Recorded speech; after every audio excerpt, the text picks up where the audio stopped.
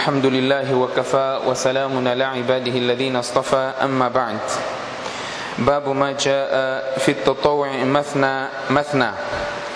ويذكر ذلك عن عمار وأبي ذر وأنس وجابر بن زيد وعكرمه والزهري رضي الله عنهم. وقال يحيى بن سعيد الأنصاري ما أدركت فقهاء ما أدركت فقهاء أرضنا إلا, يسل إلا يسلمون في كل إثنتين من النهار.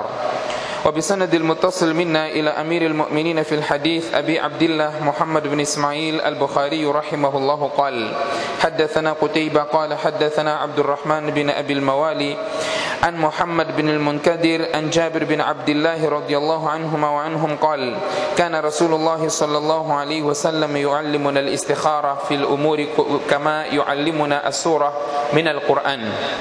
يقول إذا هم أحدكم بالأمر فليركع ركعتين من غير الفريضة ثم ليقول اللهم إني أستخيرك بعلمك وأستقدرك بقدرتك وأسألك من فضلك العظيم. فإنك تقدر ولا أقدر وتعلم ولا أعلم وأنت علام الغيوب. اللهم إن كنت تعلم أن هذا الأمر خير لي في ديني ومعاشي وعقبة أمري أو قال عاجل أمري وآجله فاقدره لي ويسره لي ثم بارك لي فيه. وإن كنت تعلم أن هذا الأمر شر لي في ديني ومعاشي وعاقبة أمري أو قال في آجل أمري وآجله فاصرفه عني واصرفني عنه وقدر لي الخير حيث كان ثم ارضني به قال ويسمي حاجته. وبه قال حدثنا المكي بن إبراهيم عن عبد الله بن سعيد عن جاب عن عمرو بن عبد الله بن زبير عن عمرو بن سليم الزرقي سمع أبا قتادة بن ربيعي الأنصاري رضي الله عنه عنهم قال قال النبي صلى الله عليه وسلم إذا دخل أحدكم المسجد فلا يجلس حتى يصلي ركعتين وبه قال حدثنا عبد الله بن يوسف. قال أخبرنا مالك عن إسحاق بن عبد الله بن أبي طلحة عن أنس بن مالك رضي الله عنه قال صلى لنا رسول الله صلى الله عليه وسلم ركعتين ثم انصرف. وبه قال حدثنا ابن كثير ابن بكير قال حدثنا الليث عن أقيل بن أن ابن شهاب قال أخبرني سالم عن عبد الله بن عمر رضي الله عنهما قال صليت مع رسول الله صلى الله عليه وسلم ركعتين قبل الظهر وركعتين بعد الظهر وركعتين بعد الجمعة وركعتين بعد المغرب وركعتين بعد العشاء. وبه قال حدثنا آدم قال أخبرنا شعبة قال أخبرنا عمرو بن دينار قال سميت جابر بن عبد الله رضي الله عنهما قال قال قال رسول الله صلى الله عليه وسلم وهو يخطب إذا جاء أحدكم والإمام يخطب أو قد خرج فليصلي ركعتين. وبه قال حدثنا أبو نعيم قال حدثنا يوسف بن سليمان المكي سميت مجاهد يقول أتي, أتي ابن عمر رضي الله عنهما في منزله فقيل له هذا رسول الله صلى الله عليه وسلم قد دخل الكعبة؟ قال فأقبلت فأجد رسول الله صلى الله عليه وسلم قد خرج. وأجد بلالا عند الباب قائما. فقلت يا بلال أصلى رسول الله صلى الله عليه وسلم في الكعبة؟ قال نعم. قلت فأين؟ قال بين هاتين الأسطوانتين. ثم خرج فصلى ركعتين في وجه الكعبة. وقال عبد الله قال أبو هريرة رضي الله عنه أوصاني النبي صلى الله عليه وسلم بركعتي الضحى. وقال إتبان غدا علي رسول الله صلى الله عليه وسلم وأبو بكر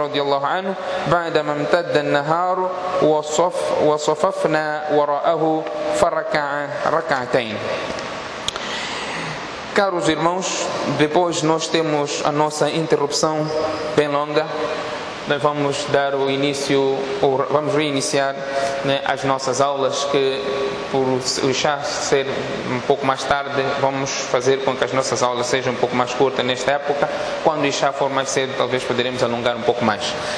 Portanto, nós vínhamos a falar aqui Kitab Tahajjud, vários aspectos, não temos muito tempo para fazer a recapitulação. Hoje nós vamos falar relacionado a salat facultativo, como o Bukhari traz, que o salat facultativo é dois, dois rakats, seja ele feito de dia ou de noite. Esta é a posição de Imam Bukhari, rahimahullah. E ele traz aqui uma avalanche de hadith para provar este princípio. Por que, que o Bukhari está aqui a enfatizar isso? Porque nós se formos a ver que há alguns salatos que se fazem durante o dia e fazemos quatro rakats de uma só vez. Quero aqui dizer quatro rakats com um salam. Ou o salam é no fim dos quatro rakats. Nós fazemos dois, fazemos tashahud, levantamos para fazer mais dois rakats e no fim fazemos o salam. Sendo de dia ou de noite, né, fazemos estes quatro rakats. Portanto, existe esta opinião. Mas Imam Bukhari, ao trazer este capítulo, está aqui a refutar o salat facultativo de quatro rakats consecutivos. Não é? Com com este intervalo de tashahud, depois fazer mais dois rakats e fazer o salam. Portanto, nós vamos ver aqui os ahadis que ele traz para provar a sua teoria ou provar o seu princípio.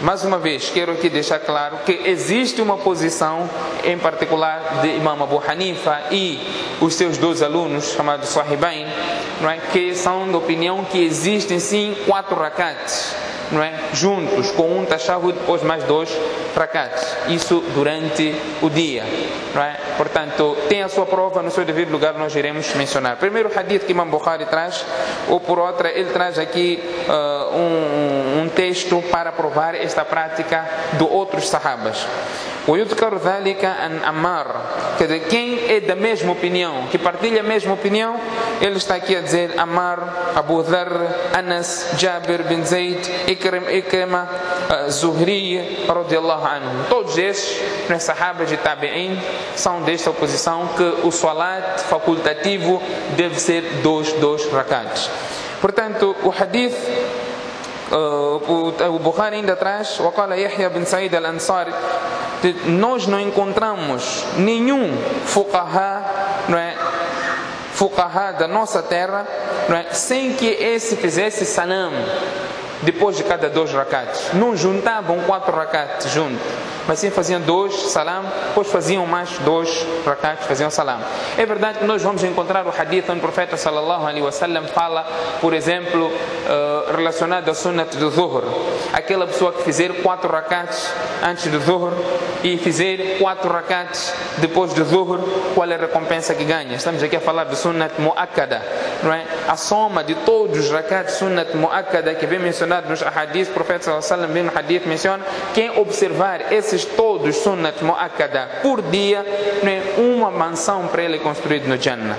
Portanto, o hadith fala de quatro rakats, por exemplo, antes do zuhur, quatro rakats depois do zuhur. Bukhari está aqui a trazer um hadith a falar o salat facultativo. Atenção, as pessoas confundem. Não é? Quando falamos salat facultativo, pensa que é simplesmente um nafil, não o sunnat muakkada. Quando nós falamos salat facultativo, estamos a falar todo aquele salat para além do salat fard todo salat, para além do salat fard, é considerado ou está na categoria de facultativo. Só que nesta categoria de facultativo também existe uma escala, existe uma escada, existe um salat com, com mais, que foi mais enfatizado pelo profeta sallallahu alaihi wasallam do que o outro, mas todos esses salats são considerados também como facultativo. Portanto, o profeta sallallahu alaihi wasallam de facto mencionou um hadith autêntico onde o profeta fala de virtude daquele que fizer quatro rakats antes do zuhur e quatro rakats depois do zuhur. Não é? Vamos encontrar a hadith que fala do asr. O profeta diz: Rahimallahu Allah vai ter misericórdia daquele indivíduo que fizer quatro rakats antes da asr. Portanto, estamos a encontrar aqui o profeta a falar de quatro rakats. Como é que o Bukhari traz aqui a hadith a falar de salat facultativo, seja ele de dia ou de noite, deve ser feito dois, dois. Portanto, o primeiro hadith que o Imam Bukhari traz é o hadith que é narrado por uh, Jabir bin Abdullah radiallahu anhuma. Ele diz que o profeta sallallahu alaihi wasallam nos ensinava o istikhara, na salat al-istikhara, em todos os assuntos e enfatizou tanto o profeta sallallahu alaihi wasallam ensinava-nos o istikhara como ensinava-nos o surah do Coran. Né? Como ensinava a sura do Coran, o profeta também nos ensinava istikhara. E o profeta disse: quando alguém pretender fazer alguma coisa, algo de importância que ele precisa de uma, de uma mashwara, de, um, de uma orientação de Allah, portanto ele tem que fazer este istikhara. Né? Infelizmente o salatul de istikhara hoje é feito só para para para quê? Quando faz salat istihara? Hã? Para casamento. Sim, fazemos istihara só para casamento. Outros até não querem nem fazer istihara para casamento. Dizem, eu fazer istihara, istihara vai dar negativo, enquanto eu gosto da moça. Né? Alguns dizem que não posso, eu gosto muito dela. E imagina se istihara dá, dá negativo. É simplesmente, podemos dizer, é ignorância isto. Não é? Isto é ignorância. Portanto, o profeta, não estamos aqui para falar de Salat Istikhara. Queremos aproveitar o hadith do Bukhari a falar de Salat Istikhara para provar aqui o princípio dele. Que o Salat, salat facultativo deve ser dois rakats. Então, o profeta sallallahu alaihi wasallam, se aquele que pretender fazer algo de extrema importância, algo relevante, portanto, que faça falyarka rak'atayn min ghairi al-fariida que faça dois rakats não é? Dois rakats não fard. Dois rakats facultativo. Depois faz este dua, dua istikhara. Veja-se, aqui se trata de um salat facultativo. O profeta sallallahu alaihi wasallam diz que faça dois rakats. Portanto, em seguida vem o dua istikhara. Nós já passamos o hadith fala de istikhara e vamos encontrar outro hadith também que fala de istikhara. No seu devido lugar, nós iremos falar acerca do istikhara. Neste hadith, só precisávamos desta parte onde o profeta sallallahu alaihi wasallam está a dizer, não é? Você para fazer alguma coisa, quer um salat facultativo, faça esse salat facultativo dois rakats. No outro hadith que é narrado por Abu Qatada al-Rabi'i al-Ansari radiyallahu anhu, ele diz, o profeta sallallahu alaihi wasallam diz, quando alguém de vós entrar no masjid, não deve se sentar sem que antes fizesse dois rakats. Ok? Sem que antes fizesse dois rakats. É facultativo também. No outro hadith que é narrado por Anas bin Malik radiallahu an, ele profeta sallallahu alaihi wasallam fez conosco dois rakats, depois foi-se embora. Ele fez dois rakats e foi-se embora. No outro hadith que é narrado que Bukhari, Imam Bukhari rahimahullah traz, que é narrado por Abdullah bin Umar radiallahu anhuma, ele diz que eu fiz salat com o profeta sallallahu alaihi wasallam. Não é? Fiz com o profeta sallallahu alaihi wasallam, وفي صلاة بروفيت صلى الله عليه وسلم ركعتين قبل الظهر. يو فيش دوج ركعت أنش الظهر. والركعتين بعد الظهر. e ركعت rakats الظهر. والركعتين بعد الجمعة. e ركعت rakats الجمعة. والركعتين بعد المغرب. فيش دوج ركعت depois المغرب O rak'atain ba'da al-isha e depois de isha também fiz dois rak'ats com o profeta sallallahu alaihi wasallam. Ou este hadith, o Imam Bukhari está aqui a dizer, olha, esses momentos todos, Abdullah bin Omar está a falar de dois rak'ats, dois rak'ats, dois rak'ats, dois rak'ats. Sunnat, né, o salat facultativo né, durante o dia ou de noite, né, tem de ser dois rak'ats. No outro hadith, profeta Imam Bukhari, rahimahullah, traz aqui, diz o profeta sallallahu alaihi wasallam, diz, hadith da autoria de Jabir bin Abdullah, radiallahu anhuma, ele diz, o profeta sallallahu alaihi wasallam, uma vez disse, enquanto ele estava no mimbar, a fazer khutbah, ele diz.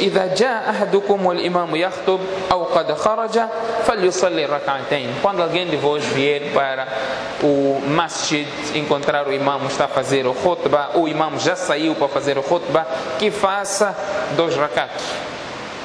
Hum, este é um momento também entramos para algum detalhe, é? mas nós falamos muito disso quando estamos a falar de Jumu'ah. É? Mas como eu tenho dito, vocês têm muito boa memória, ninguém está registrado, ninguém registra, porque hoje confiamos nos áudios, nos vídeos, então voltem à fonte para poder recordar esse assunto que nós já falamos. Outro hadith que Imam Bukhari, veja, neste hadith o profeta disse que ele tem que fazer dois rakats. No outro hadith ainda que é narrado por uh, Mujahid, ou por outra, Yusuf bin Suleiman al-Maki, ele diz, ouvi Mujahid dizendo que alguém veio ao encontro de Abdullah bin Umar radiallahu anhu, em sua casa e disse para ele, este é o profeta sallallahu alaihi wasallam, não é? Está aqui o profeta sallallahu alaihi wasallam, entrou no Kaaba, فأقبلت فأجد رسول الله صلى الله عليه وسلم قد خرج então eu me direcionei para lá encontrei o profeta sallallahu alaihi wasallam já havia saído do Kaaba estamos a falar no momento da conquista de Meca. O profeta sallallahu alaihi wasallam entrou no Kaaba depois de todos os ídolos terem sido destruídos. O profeta sallallahu alaihi wasallam entrou no Kaaba e fez salat dentro do Kaaba. Então ele diz: Eu quando vi o encontro do profeta, encontrei o profeta sallallahu alaihi wasallam já tinha saído. E encontrei-me com Bilal radiallahu an, não é? Na porta do, do, do, uh, do Kaaba. Então o Bilal estava em pé na porta e eu disse: Ô oh Bilal. Asalla Rasulullah sallallahu alaihi wasallam fil Kaaba. O profeta sallallahu alaihi wasallam fez salat no Kaaba.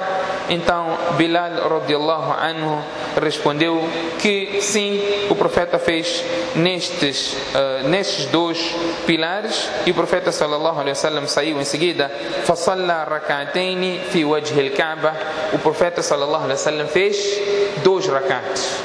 É? Né? O profeta sallallahu alaihi wasallam neste momento também fez dois rakats e Imam Bukhari, rahimahullah, termina né, neste capítulo dizendo que Abu Huraira, radiallahu anhu, disse ao Sani, a Nabi sallallahu alaihi wasallam, o profeta sallallahu alaihi wasallam aconselhou-me a fazer dois rakats de salat duha, salat al-ishraq, né?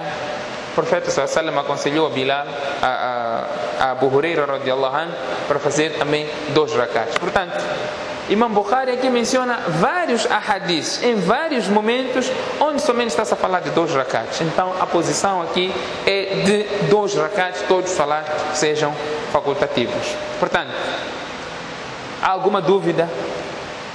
Veio alguma dúvida nas vossas mentes? Eu mencionei alguns ahadis no princípio para ver se isso podia criar alguma curiosidade. O hadith que o Imam Bukhari está trazendo está a falar tudo de dois rakats. Esses ahadis, a interpretação aqui da maioria dos sábios, diz que quando se fala de virtude, ou o profeta fala aqui de quatro rakats, sendo o salat facultativo, está a referir dois, fazer salam, pode fazer mais dois. Não estou a dizer para deixar de fazer quatro. Quer dizer, o salat facultativo, neste caso, de acordo com a opinião do Imam Bukhari e da maioria da escola de jurisprudência, é que o, 4, que é mencionado 4, é feito em intervalo de 2, 2. É? Enquanto que Imam Abu Hanifa, como estava aqui a dizer, e o Sahibain são da opinião que existe sim solar de 4. Qual é a base legal? É esses hadiths mesmo que diz 4, profeta diz 4, então é 4. E não só, pegas ainda no outro hadith onde o profeta sallallahu alaihi wasallam diz Salatul Layl Salatul Layl Mathna Mathna Salat da noite facultativo, obviamente, são dois, dois rakats. Qual é o sentido contrário aqui? Qual é o sentido contrário? Salat do dia. Salat da noite. O profeta diz que o salat da noite são dois, dois rakats. Então, o seu sentido contrário é que o salat de dia podemos fazer Quatro. Esta é a analogia de Imam Abu Hanifa, rahimahullah. Sim? Não. Dois, tashahud, depois fazer mais dois. Não é? Imam Abu Hanifa e Sahibain são dessa oposição, dessa opinião, enquanto que a maioria da alim, das escolas, todas são de os salats que se fala de quatro rakats é dividido em dois, dois, dois, dois rakat salam. Por isso que Imam Bukhari ainda traz um outro hadith aqui que foi narrado por Abdullah bin Umar, quando ele diz que eu fiz salat com o profeta sallallahu alaihi wasallam, rakatain qabla dhuhr, dois rakats antes do Zuhur, dois rakats depois do Zuhur e dois rakats depois do Jumu'ah e dois rakats depois do Maghrib, assim como dois rakats depois de Isha, estando aqui a falar de Sunnah al-Mu'akkada. É, é, é verdade que, que os, os álimos, alguns talvez no passado, que nós falamos deste de 17, queriam abranger todos, é? falando dos sunat antes, é? dos quatro sunat antes de Isha, quatro farod, contavam assim, né? quatro sunat, quatro farod, dois sunat, dois nafil, três witr, dois nafil. Nós havíamos dito isso que não tem base para limitarmos o salat no Isha em 17 rakats ou falamos de 13 rakats no Isha para além do fardo, não existe nenhuma base, porque quando se trata de salat facultativo, a pessoa poderá fazer o número que quiser. O número que quiser. Por isso é que o hadith, quando se fala de sunnat mu'akkada após Isha, o hadith só diz dois, dois rakats. Quanto mais você quiser fazer, você pode fazer sem limite. Mas o muakkada são dois rakats. Depois tem o witr. Portanto, este era o último hadith do Kitab At-Tahajjud, como Imam Bukhari havia mencionado.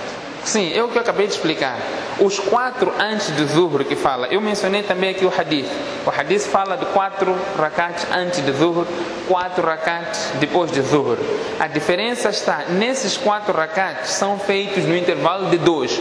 Dois, salam, mais dois, ficou quatro. Depois do Zuhr, dois, salam, mais dois, ficou quatro. Então, não há nenhum problema até aqui. Não, não, não. O, o Sunnat não deixa de existir. Os 12 rakats prevalecem. Nós não estamos no número de rakats. Estamos na forma de fazer esses quatro rakats. Uma forma é fazer quatro rakats junto com só um salam no fim. Né? Quando eu digo um salam, é salam à direita, salam à esquerda, deixa um salam. E outro é fazer dois, fazer salam, depois fazer mais dois. Também são quatro rakats. Percebeu? Portanto, não temos nenhum problema. Essa explicação já havia dado, mas Barrachid já estava a processar e acabou passando sem, sem entender, porque a dúvida estava girar né, na massa cinzenta. Alhamdulillah, é bom né, trazer esse tipo de curiosidade. Que Allah subhanahu wa ta'ala dê-nos tawfiq de pormos em prática aqui uh, os ditos do profeta sallallahu alaihi wasallam. Na partir da próxima aula, inshallah, iremos falar dos salatos facultativos após o salato obrigatório. سبحانك اللهم وبحمدك نشهد ان لا اله الا انت نستغفرك ونتوب اليك